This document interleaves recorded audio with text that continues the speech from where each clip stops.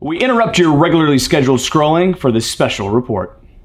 Good evening, my fellow Americans. This past week, D-Generation X was informed that TS.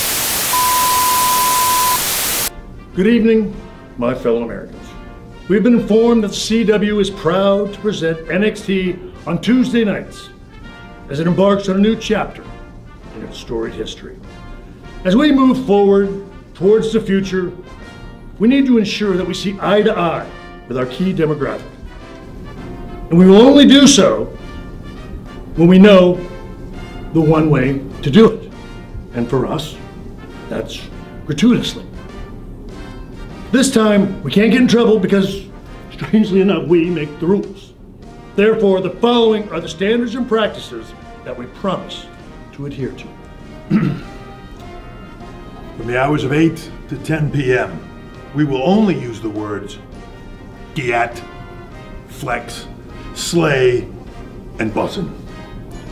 We will, however, also make a concerted effort to use the words sus, drip, low key, on God, ratio, Get you some of that.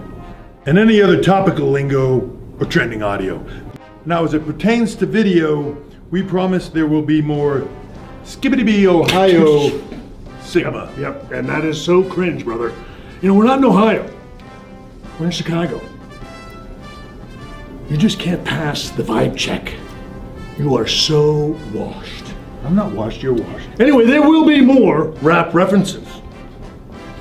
But on a final note, even though many of you believe that currently the favorite pastime in the Oval Office is to get in the kick it, get in the kitchen and cook.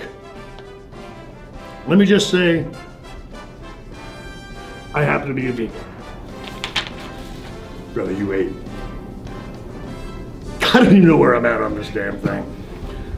Make sure to catch all the action on NXT Tuesday night at 8 p.m. Only on the CW. It's hard to believe we get paid for this. Unfrickin' believable.